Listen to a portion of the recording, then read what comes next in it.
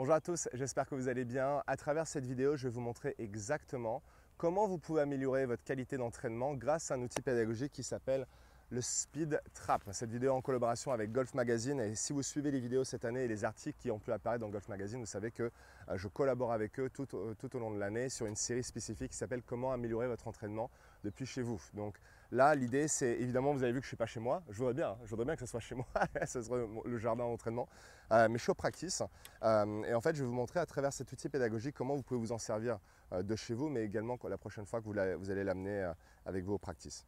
Alors juste avant de passer à la vidéo, n'oubliez pas que si vous voulez avoir accès à toutes les vidéos, euh, vous pouvez simplement cliquer sur le bouton s'abonner juste en dessous, comme ça vous aurez accès vraiment à toutes les vidéos que je publie euh, chaque semaine. Vous voyez cette semaine je suis à l'île Maurice, on tourne à peu près 30 à 40 vidéos sur toutes les thématiques de jeu qui sont ensuite accessibles gratuitement sur ma chaîne YouTube.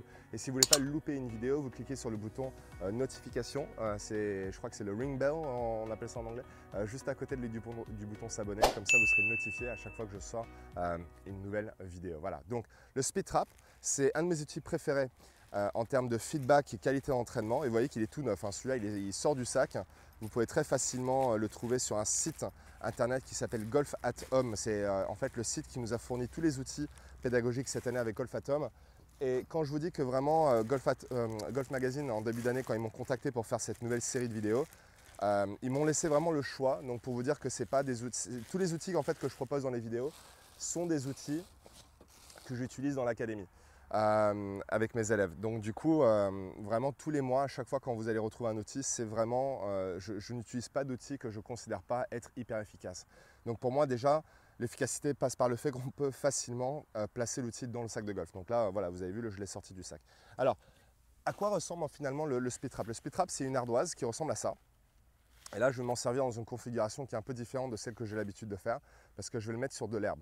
Et en fait, la raison pour laquelle je pense qu'il est vraiment très efficace cet outil parce que en Europe, la majorité des pratiques qu'on trouve sont euh, sur des tapis, malheureusement. Et là, on a la, on a la chance à l'île Maurice de taper sur, euh, herbe.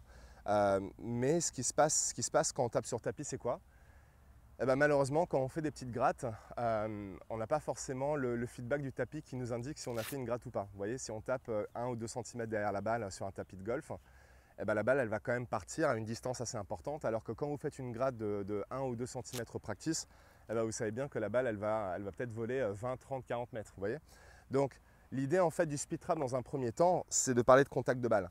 Donc vous voyez que là quand je prends le speed trap, en fait il y a plusieurs lignes.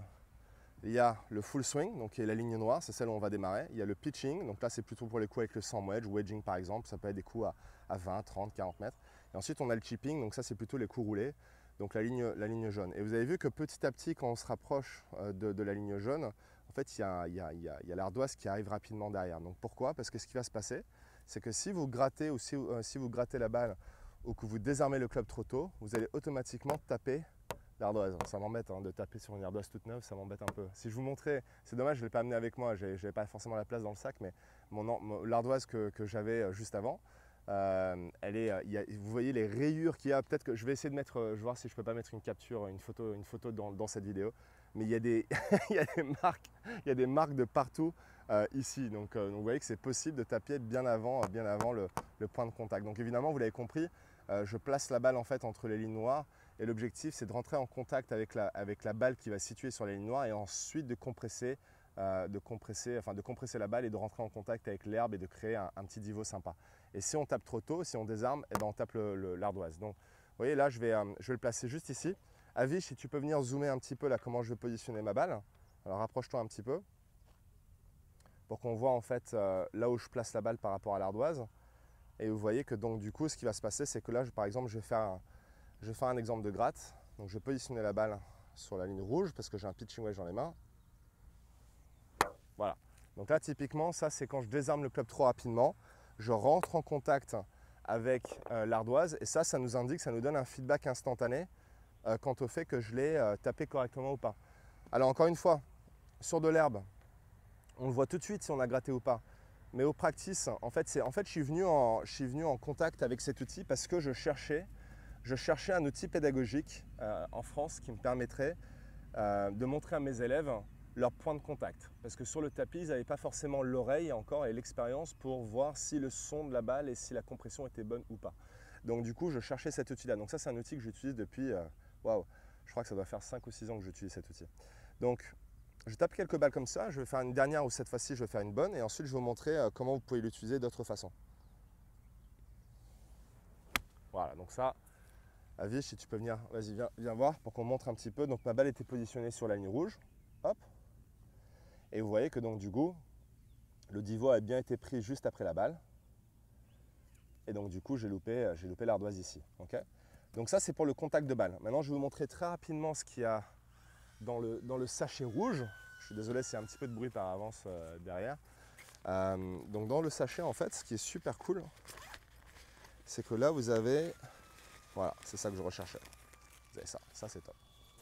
Et donc, je suis passé au driver. Alors, évidemment, hein, vous allez monter petit à petit en gamme avec vos clubs. Mais en fait, je voulais le montrer avec, avec votre driver, qu'est-ce que vous pouvez bosser.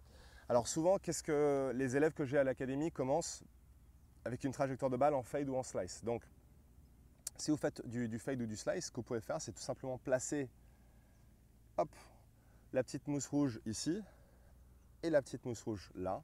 Et là, qu'est-ce qui se passe? C'est que maintenant, on vient de créer un petit chemin de club qui va nous permettre d'aller plus de l'intérieur vers l'extérieur. Alors, vous avez vu qu'on on peut placer les quatre si on a envie.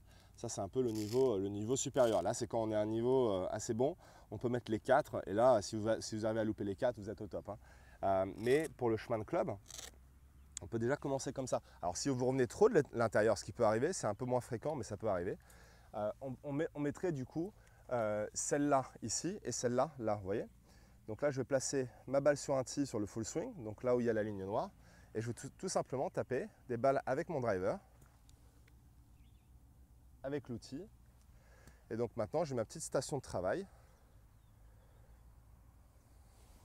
Vous voyez, là, j'ai loupé les deux. Donc je suis passé entre les deux, ce qui veut dire que j'ai eu un chemin de club qui a été assez euh, optimal. Donc c'est un outil que je considère fantastique pour le feedback. Vous savez, je suis un grand fan à l'entraînement de s'entraîner avec du feedback. Vous devez, vous devez absolument ne pas perdre une minute quand vous allez vous entraîner.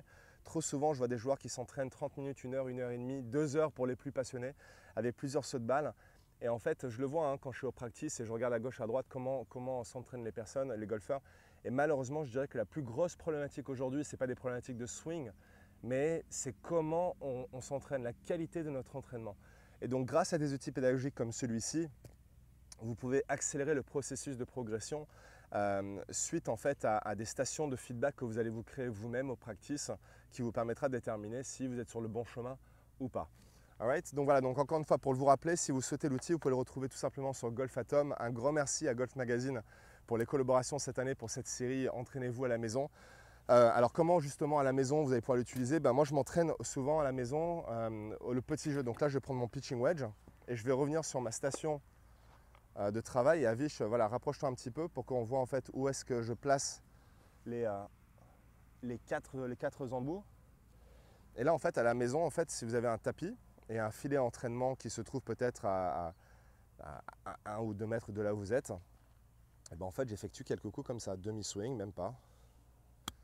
Et là, vous voyez, je fais juste des, euh, des coups comme ceci sur un tapis qui va se trouver à la maison. Voilà, évidemment, je suis sur de l'herbe, donc il va falloir que je décale la balle. Ça a été mal contacté, mais je suis passé entre les. Donc mon chemin de club était bon, mais mon contact ne l'était pas. J'avais un peu peur du divo là qui était là. Euh, mais donc du coup à la maison, voilà comment je m'en servirais sur un tapis, sur à la fois un filet de, chipping, ou même si vous avez un grand filet dans votre jardin, vous avez la place. Je sais que depuis le, confinement, euh, depuis le Covid, euh, de plus en plus de personnes ont des, des filets de practice chez eux. Euh, donc ça, c'est vraiment un investissement que je vous conseille de faire. Comme ça, en même temps, vous allez assurer que votre entraînement sera bon euh, quoi qu'il arrive. J'espère que cette vidéo vous a plu. Si c'est le cas, appuyez sur le bouton j'aime et utilisez la zone de commentaires. Juste en dessous, il y a une zone de commentaires. Utilisez-la pour me dire qu'est-ce que vous souhaiterez voir comme contenu vidéo. Parce que vous savez que cette chaîne YouTube, elle est gratuite, mais elle est faite pour vous. Et donc du coup, ben, tout le contenu que j'essaie de créer à l'avenir, ce sera uniquement pour répondre à vos problématiques, vos besoins et donc vos questions. Donc si vous avez des questions sur votre jeu, n'hésitez pas à les poser dans la zone de commentaires juste en dessous et j'aurai plaisir à créer des futures vidéos euh, euh, grâce à votre feedback. A très bientôt.